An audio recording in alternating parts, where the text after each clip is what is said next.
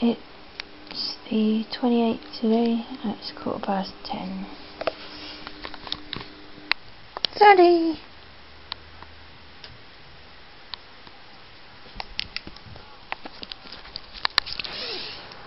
Watching Cassandra. Daddy!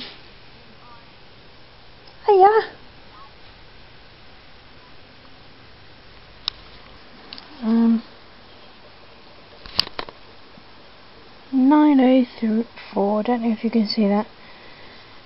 I'm about to watch The Girl with the Dragon Tattoo. Should be very good.